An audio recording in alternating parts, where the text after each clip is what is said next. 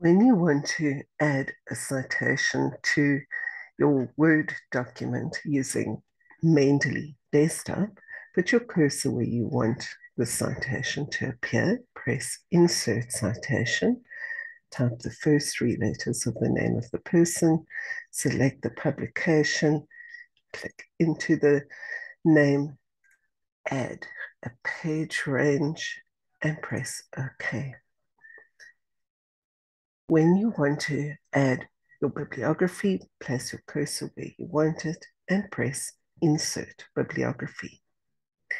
If you want to add a citation to a particular citation, press Edit Citation. Put your cursor into the citation, press Edit Citation, first three letters of the person's name, select the publication, click into the surname, and press a page range.